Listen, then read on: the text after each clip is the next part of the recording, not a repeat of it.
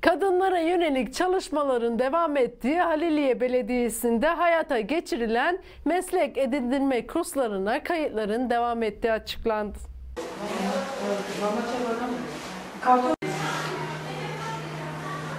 Kültür ve Sosyal İşler Müdürlüğü meslek edindirme ile hobilere yönelik kurslar için yeni dönem kayıtlarının başladığını duyurdu.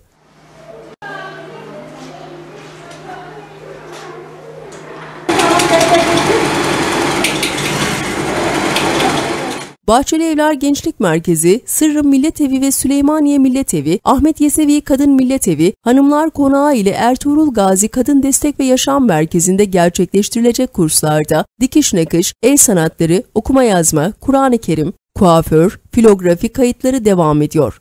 Ben yeni öğreniyoruz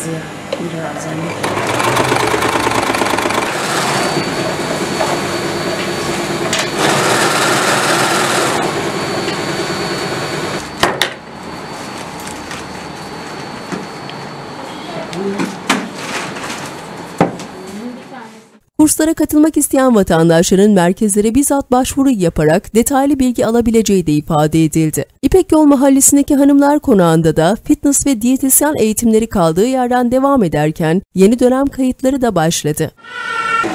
Tamam.